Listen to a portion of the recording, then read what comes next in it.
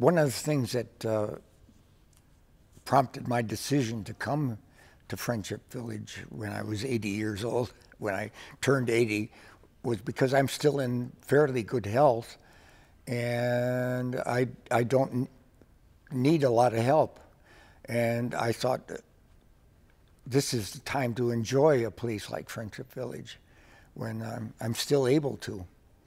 So uh, uh, I'm really glad that I came when I, I'm still able to enjoy it.